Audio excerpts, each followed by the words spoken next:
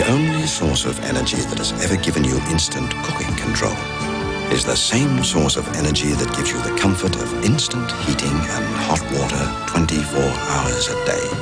Pure, clean, instant, natural gas. Always there whenever you need it. Now, more than ever, because it also keeps your energy costs under control. For cooking, heating, and hot water, you're better off with natural gas.